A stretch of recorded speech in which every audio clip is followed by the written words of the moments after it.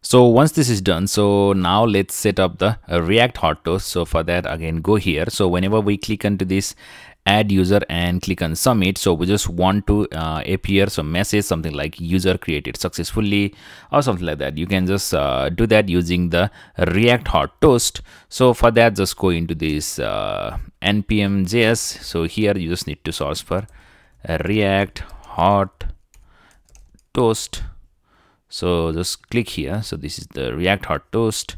So let me just simply uh, copy this one from here.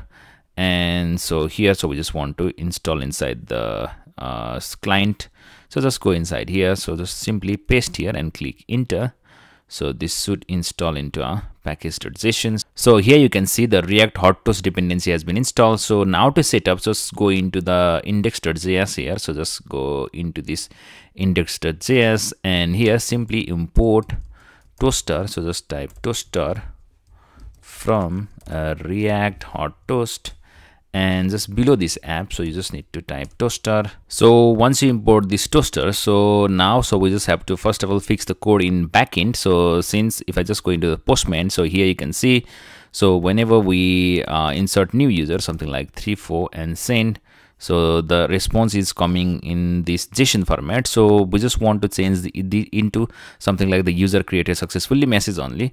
So for that just go into the server. So just go into the controller user controller here and go at the top here. So instead of this uh, save data so we just want the response to be something like uh, the response dot status 200 and in json so instead of this save data so you can just simply copy this so just copy and comment this and simply paste inside here.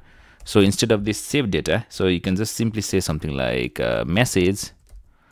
And in message so you can just say something like the user created successfully. And just simply save this one. So now if i just go into the postman and try to post the new data 341 uh, you can just give anything. And so here you can see the message user created successfully. So uh, now we have fixed the backend code. So now again go into the front end here. So just go into this add user. And here simply import the uh, toast. So just import toast from the react hot toast. And just go below here. So so here you can see on response so we have said something like the user created successfully on console. So instead of this so just simply type toast. So since we have already uh, imported toast and just type success and inside here so just simply type response the data dot message.